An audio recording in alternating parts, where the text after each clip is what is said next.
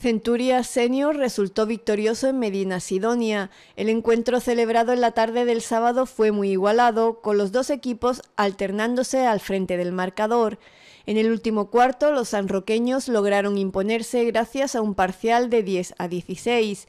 Samuel Ortiz fue el máximo anotador del Centurias con 17 puntos, seguido de Chico Ortiz con 14. Por parte de Medina Sidonia, Diego Astorga fue el mejor jugador con 16 puntos y 13 rebotes. El próximo partido del Centurias Senior será el sábado 20 de enero a las 4 y media en el pabellón Ciudad de San Roque ante el Club Deportivo Algaida. En cuanto a la base del baloncesto sanroqueño, todos los equipos han entrado a escena con triunfos en el inicio de 2024.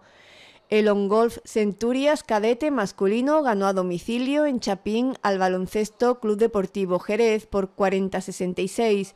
El Teletronic infantil femenino firmó su sexta victoria del curso en la Liga Regular Gaditana Grupo B, tras vencer 71 a 44 al Club de Baloncesto Ciudad de Cádiz.